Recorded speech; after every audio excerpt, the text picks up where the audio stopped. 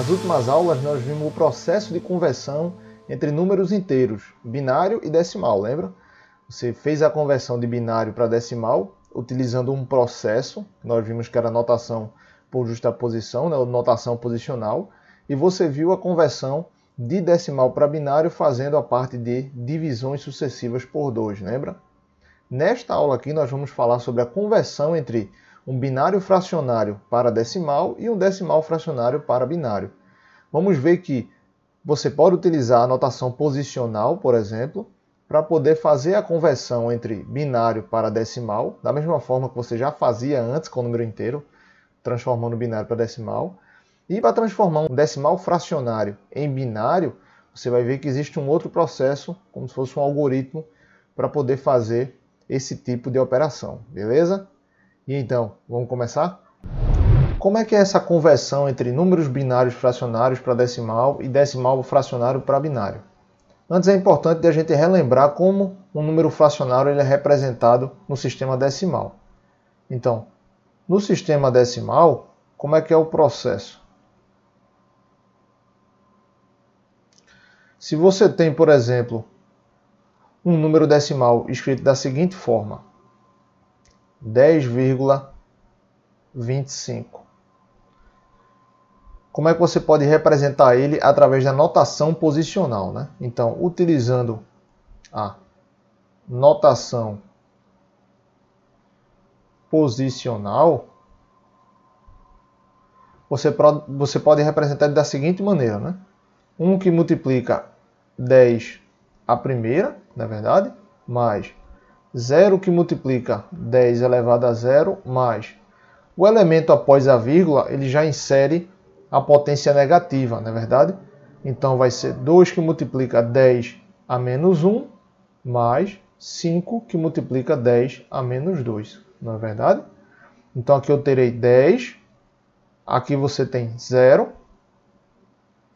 aqui você tem 2 dividido por 10, mais 5 dividido por 100, não é verdade? Então vai ser 10 mais 0,2 mais 0,05. Isso aqui vai te dar 10,25. Beleza? Então é assim que funciona também no sistema binário. Como é que eu vou pegar um binário fracionário para decimal? Então, no sistema binário, a gente vai usar o mesmo mecanismo.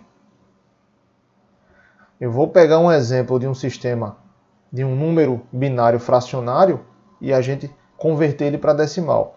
Então, deixei um exemplo anotado aqui, 1, 0, 0,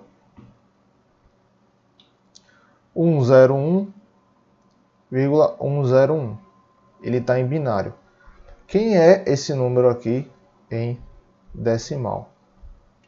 Então vou fazer o mesmo processo com a notação posicional. Eu vou pegar esse meu número aqui, 1, e multiplicar pelo peso correspondente à posição dele. Então após a vírgula eu tenho 1, 2, 3 dígitos. Então aqui será 2 elevado ao quadrado, mais 0 que multiplica 2 elevado à primeira, mais 1 que multiplica 2 elevado a zero mas após a vírgula, as potências agora tornam-se negativas, não é verdade? Então, eu terei aqui 1 que multiplica 2 elevado a menos 1, mais 0 que multiplica 2 elevado a menos 2, mais 1 que multiplica 2 elevado a menos 3. Não é isso? Aqui eu vou ter 4. Aqui você tem 0. Aqui você tem 1. Aqui você terá 1 sobre 2 mais 0, não é verdade? Mais 1 sobre 8, não é isso?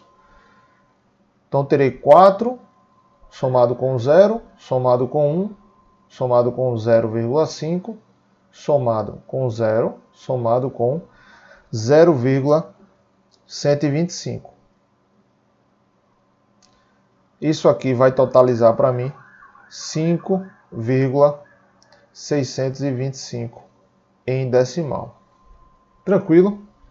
É simples, você vai usar a notação posicional para poder fazer a conversão de binário para decimal.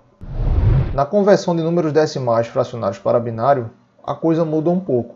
Aqui nós vamos abordar dois casos e eu quero que você perceba quais são as diferenças quando eles acontecerem. Primeiro caso, a gente vai pegar esse número aqui, 8,375. Ele está em decimal e eu quero saber quem é o equivalente dele em binário. Você não vai fazer aqui divisão sucessiva por 2, você vai fazer um outro algoritmo que vai ser explicado passo a passo aqui. O primeiro passo que você irá fazer com relação a essa conversão, o primeiro passo vai ser separar a parte inteira da fracionária.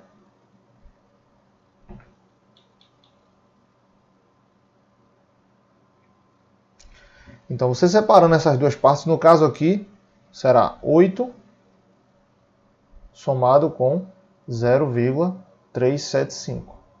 Não é isso? Aí qual vai ser o segundo passo? Vai ser converter a parte inteira.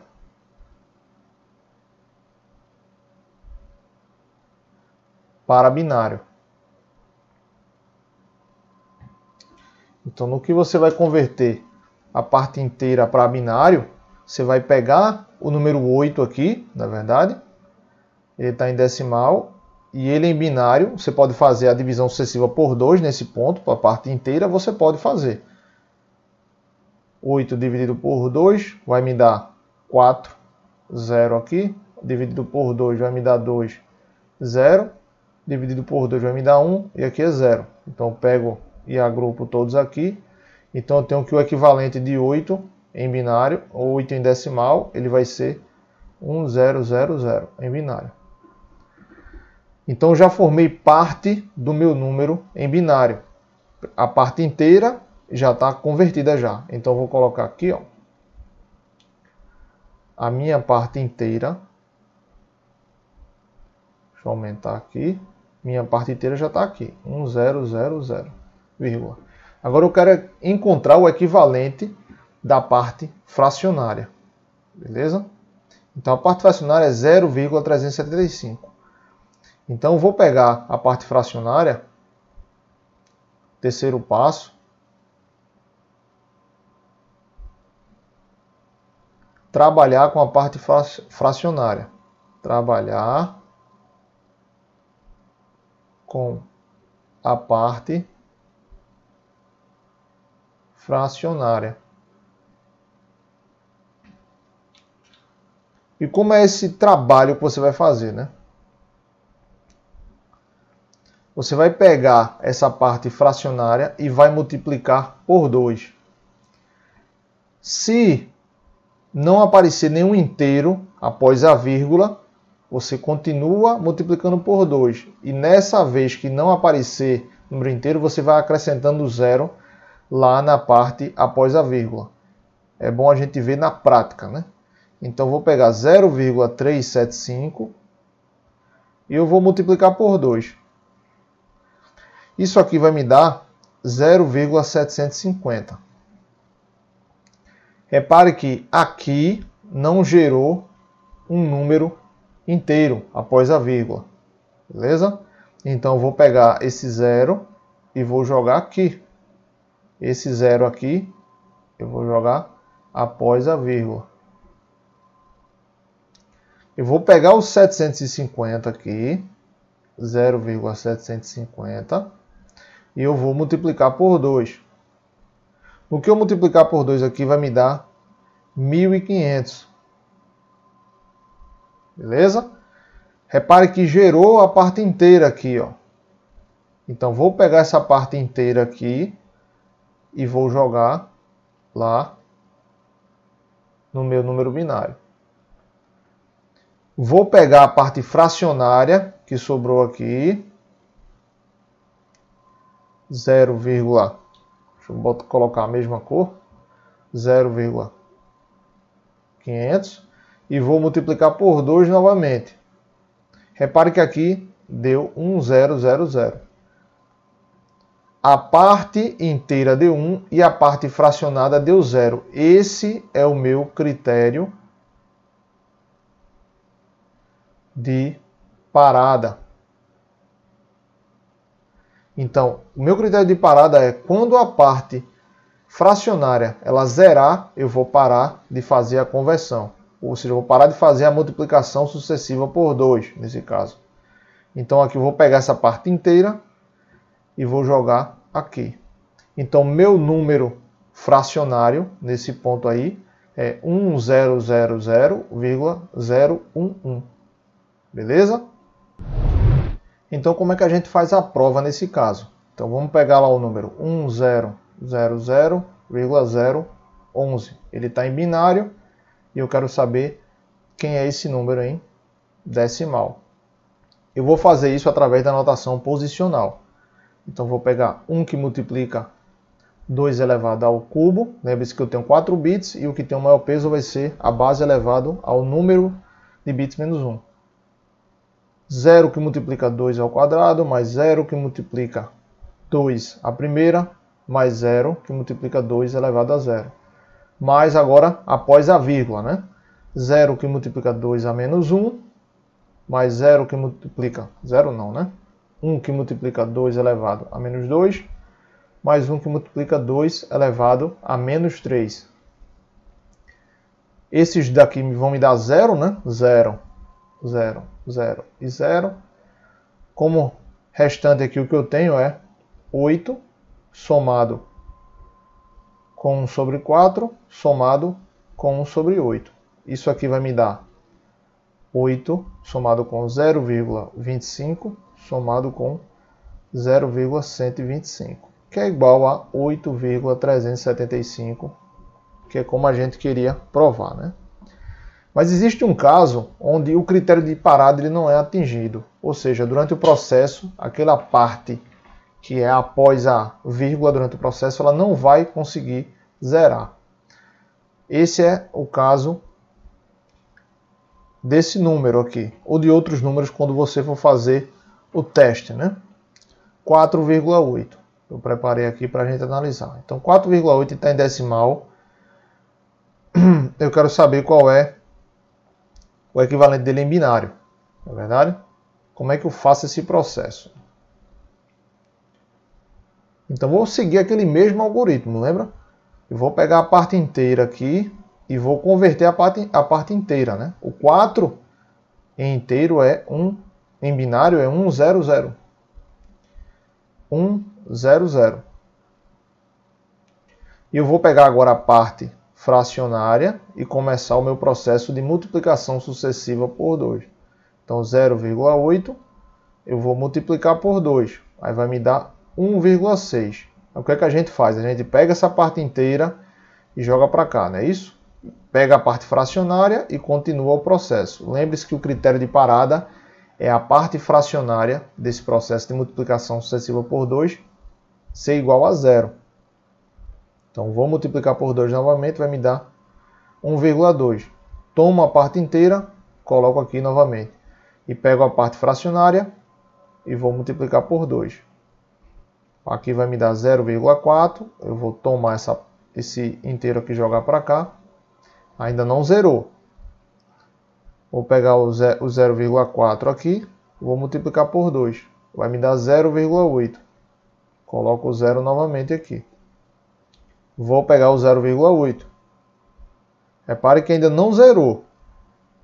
Ficar por 2 vai me dar 1,6. Repare que agora isso vai começar a se repetir, não é verdade? Pense bem comigo aqui. Pense bem comigo. Esse 1,6 a gente já passou por aqui, ó.